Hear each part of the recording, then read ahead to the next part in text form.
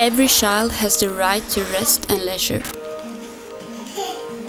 to engage in play and recreational activities. What if we would use our success for something beyond competition and beyond the top step of the podium? What if we would use it for something bigger? Let's do something real.